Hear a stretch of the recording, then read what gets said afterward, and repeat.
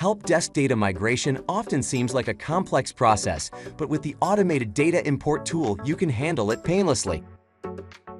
So how do you migrate to Help Scout? First, prepare your Help Scout account for the migration process. You need to create mailboxes and custom fields. Then you should add agents present on your source platform. Also, don't forget to turn off notifications.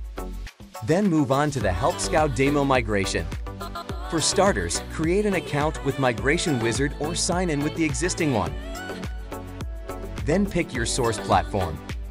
To connect your current help desk, you should fill in the required credentials or sign in with your source account.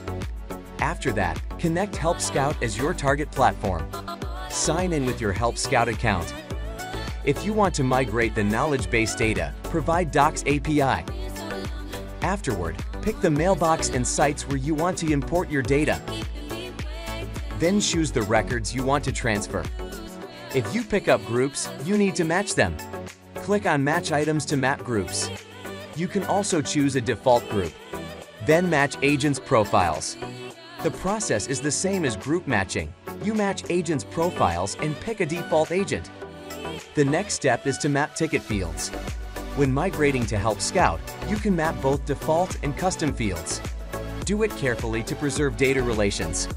When you've mapped fields, press on Save to apply settings. Then map article fields. You can also tailor your Help Scout demo migration with automated options. The available automated options will depend on both your source and target platforms.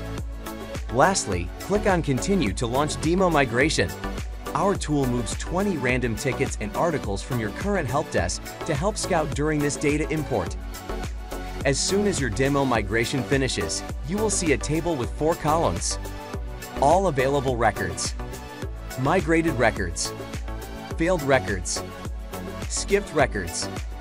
Look through the results by downloading reports on migrated, failed, and skipped records. When everything looks great, choose the needed support plan and proceed to payment. Now you can initiate the full data migration.